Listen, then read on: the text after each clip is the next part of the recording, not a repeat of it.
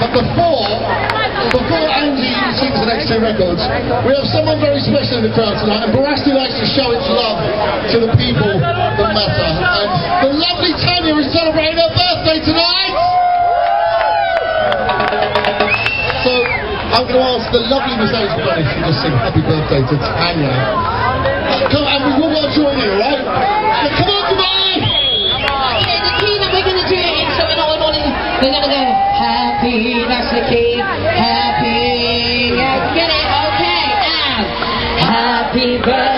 Birthday to.